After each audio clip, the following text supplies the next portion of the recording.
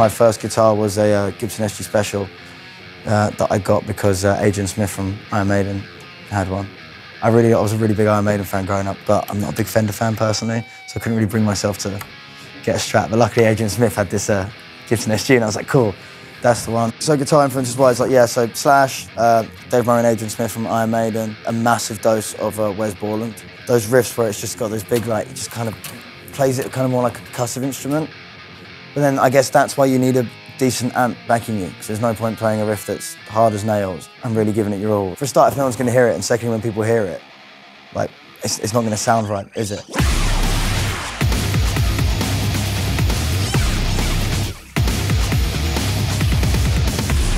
My band was breaking up, and uh, yeah, I guess um, I just really wanted to, I wanted to do something else, but I could only picture myself putting the effort in if it was kind of like something a bit more adventurous, where I get to bring like, electronic elements in, and also like big fan of like Riot Girl punk bands. And like just having I listened to so much stuff with female vocal I really wanted to work with a, a female sounding vocal.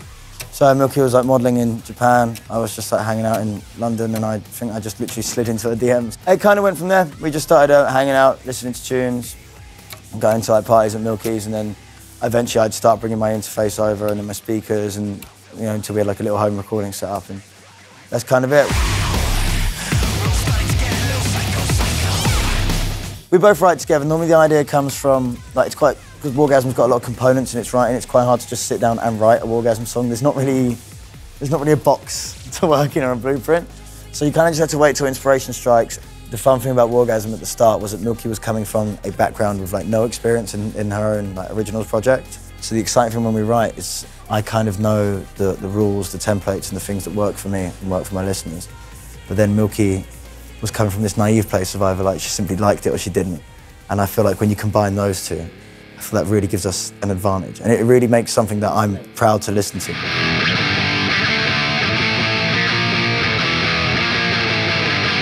We're doing a headline tour in November, which is like our first headline tour, It's absolutely mad, like dates are selling out and stuff like that.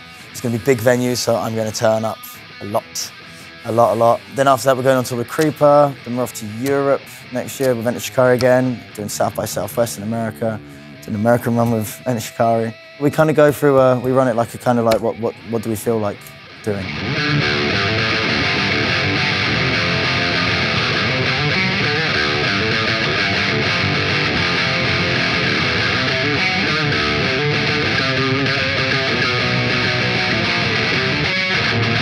The amp that I'm using today, it's a uh, Marshall GB that has obviously been through the wars. I don't actually think I'm going to be comfortable parting with this amp, ever. Tone-wise, this is outrageous. The band I'm in is kind of more centered around writing and recreating electronic elements live. So the thing about this is the few moments when I need to play the guitar, everyone needs to really know that I'm doing it, you know, hence why I go for the uh, spikier, more fun, more fun-looking guitars. But this thing, just like no matter what you do to the settings, it always cuts. It always cuts through. I don't know, man. There's just there's something about the Marshall Jubilees that have so much more bollocks than any other any other amp, you know.